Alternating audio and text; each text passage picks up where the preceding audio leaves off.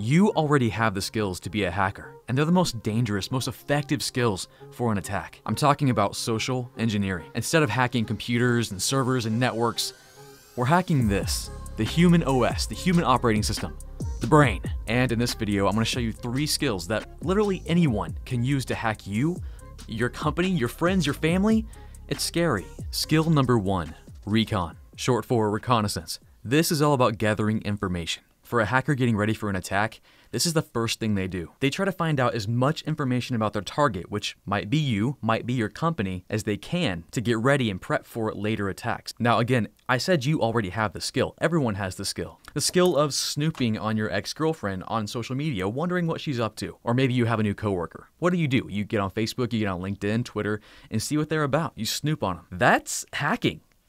now, I know it may not feel like it because you're not doing anything nefarious. You don't have bad motivations. Social media is the best place for a hacker to start hacking you or your company. And the craziest part about this is that it's not illegal. They're just looking at information that's publicly available. In the hacking community, they call this OSINT, or OSINT, which stands for Open Source Intelligence. And it involves hackers trying to find out information about you or your company by just looking at things that are already public your Facebook profile, your Twitter profile, LinkedIn. Shoot, they just Google you and they can find out information about you. Now, if a hacker is targeting you or an individual, it could be as simple as just going to their public Facebook profile, like mine here, and learning things about them, like learning that, hey, this guy's a Christian. There's some of his friends. He liked a guy named Ravi Zacharias. Here are some family members, and now I'm realizing I should probably hide some of my stuff now. Places I've been Paris, Wahlburgers, Eugene. Okay, you're probably thinking, what can a hacker do with these just facts? Just facts about me or you? The answer is a lot. Maybe knowing that I like Paris, you can send me an email about Paris and get me to download something, but that download actually is a virus. Maybe you can impersonate my friends and try to talk to me as one of my friends, or maybe impersonate me and try to hack somebody else. The options are pretty endless, and we'll go into more detail on those types of attacks later on in this series. LinkedIn by itself is crazy for gathering information. Like if you wanted to target a company, just looking at my profile, and my past work experience, I mean, I list information about the company that is obviously advertising my skills and what I've worked with, but I'm also at the same time saying, hey, this company has this technology. A bunch of Cisco technology, Cisco ASAs, which is how they defend their network. A hacker can take that information and use that in attacks later on. It's kind of crazy, especially when we live in a world where we're told to market ourselves, and I'll tell you to do this all the time. It is important to, when you're trying to find that next job, to market yourself, tell people about who you are, tell people what you've done, but there's a flip side to it. That information can be used against you. So you got to be careful. So honestly, you already possess the most powerful recon skills out there.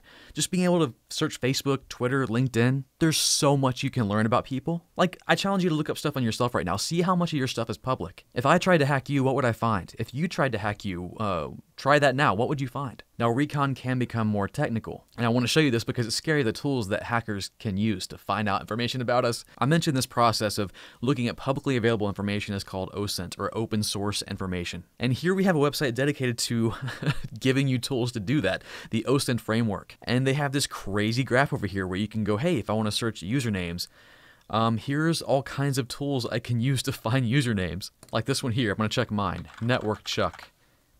Check and instantly I know where Network Chuck is on all these social media platforms. Scary, right? And that was crazy easy. And of course, a ton of social media tools here from Facebook, Twitter, Reddit, LinkedIn, all kinds of stuff. We can use a tool called Twint, which is this crazy advanced Twitter search. You don't need an account. Check this out. I can get a list of all my tweets from my username, or maybe just tweets I sent in the last week, or maybe tweets that were near a city, which is even scarier. like, check this out. I found tweets that were near a city. You can search for that. Or I can find people I know. I can get a list of people I follow. Just like that. It's a little scary how powerful this is, how you can get so much information with one command. There's a website called hunter.io. All you gotta do is search a company, like let's say Starbucks, and it will pull a list, a result of legit email addresses that belong to real people and their phone numbers, opening up just a crazy amount of attacks you could use. Now, I'm not going to show you this stuff right now. They'll get mad at me. They've done it before. And then my favorite method to get information is Google. You can use a technique called Google hacking or Google dorking to find out all kinds of information that is public but probably shouldn't be. I actually made a video about it here if you want to check it out. So, how do you protect yourself with this, with recon, with people finding out information about you? Well, just don't put information out there about yourself. Assume that whatever you put on the internet, even if you think is private, assume it's going to be seen. Assume that someone could find this information about you. I'm telling you, even if you set that sucker to private, even if you post and it's for friends only, man, don't don't assume that people can't find that information. And if you're a company, man, tell your employees not to post things about your company online on social media. Have policies, train your employees. Skill number 2, you already have to start hacking right now. And it's a weird one. Dumpster diving. Digging in someone's trash, their bin, whatever you call it. It's a legit technique that hackers can use and it can be crazy effective. I think about this. When you get junk mail, maybe, hey, you've been pre-approved for this $5,000 credit line or whatever. What do you do with it? Do you just throw it away? If you do, well, then here's what can happen. On that mail, it has your name, it has your address. It's got information about you that hackers could use. And all someone has to do is dig through your trash and they can find this information. Now, for the most part, this isn't really illegal. In most parts of the United States, it's public domain. You can dig through someone's trash. Now, I'm not saying go dig through people's trash. Please don't do that. At least consult a lawyer before you do it, if you really want to. But think about what you've thrown away and what that might tell people about you. Things you don't want people to know. And not just an individual, think about a company. A company throws away stuff all the time. Documents that really will have some crazy classified information that they hackers would love to get. They would love to see that stuff. Passwords, email lists, purchase orders, all kinds of stuff that might seem harmless to most people, but man, in the hands of a hacker, they can take that and use it for whatever they want. So, dumpster diving, how do you protect yourself from your own trash? Well, don't throw away anything that you wouldn't want people to see. I mean, that banana peel, hackers are gonna go, oh, banana peel. They like bananas. I've got them now. Like, that's not gonna hurt, I don't think. It could, I guess, I don't know. But documents and things that have information about you, man, shred that sucker. Get a shredder. Get it into little tiny pieces to where it's impossible for them to reclaim the information companies, man, just don't throw away your stuff and the regular trash. If you've got documents that you have to get rid of and dispose of, hire a third party company. That's what most companies do, most enterprise companies. They'll hire a third party company to come in, properly shred and dispose their, their documents and all their classified information. I mean, computers too. Computers, hard drives, network equipment, anything technical could have crazy amounts of classified information on it. Hire a recycling company to dispose of that for you. They'll wipe the hard drives, they'll do whatever they want with it, but They'll make sure it's safe. Don't just throw your computers in the trash. Skill number three that everyone has that you can use to start hacking someone right now. This one's pretty easy. Shoulder surfing. Shoulder surfing is just when anyone ah looks over your shoulder and looks at what you're doing. Get out of here.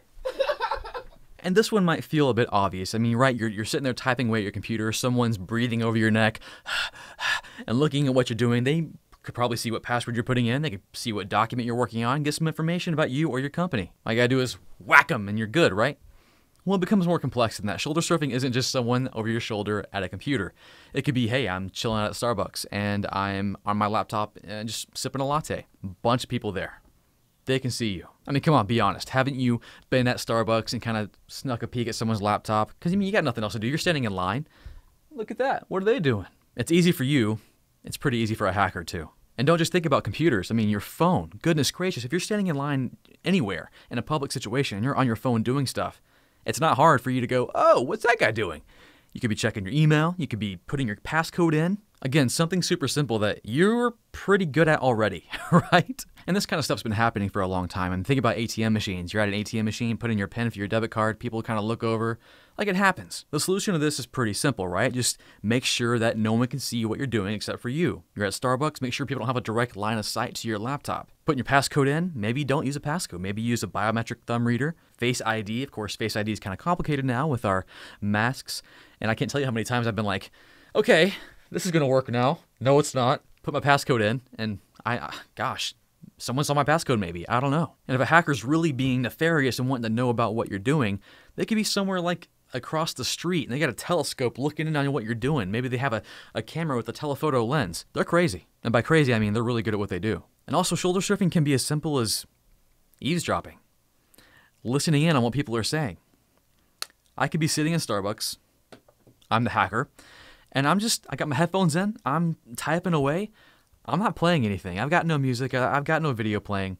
I'm listening for something around me. I want to eavesdrop on some conversations. Now, I'm guilty of this all the time.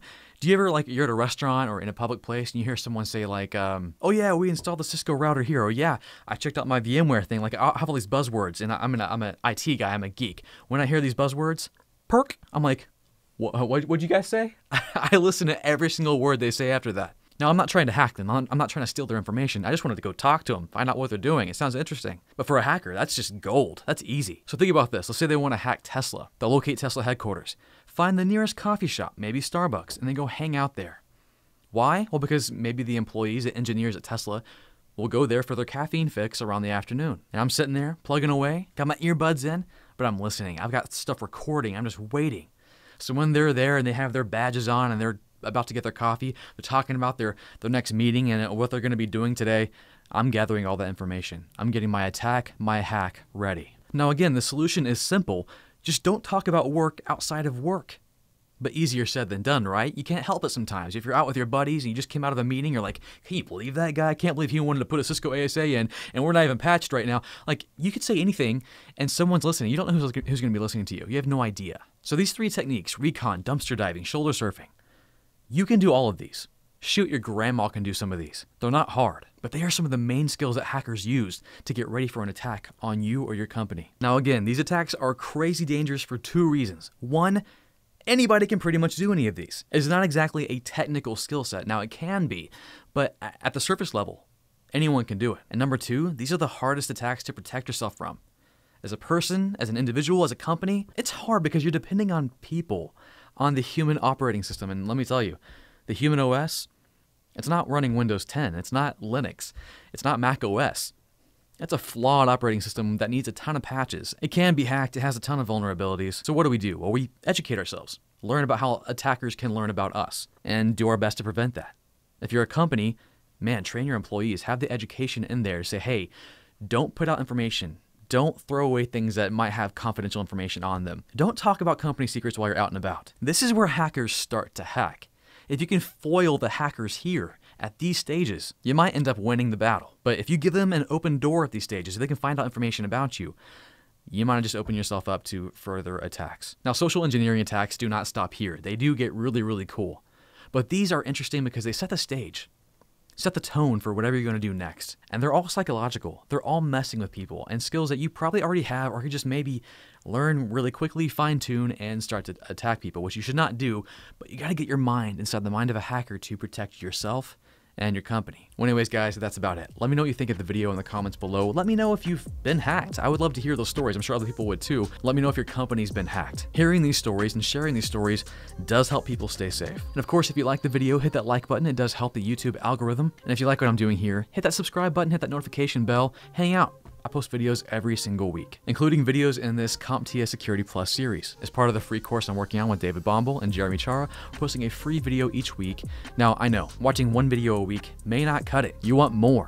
And you know what? We're going to do that for you. We're posting once a week on YouTube, but we're putting videos as we make them, as we create them on thisisit.io. So check that out, link below. It's a great way to support our mission and what we're doing here on YouTube, and you get advanced access to all that we're doing. Yep, that's all I got.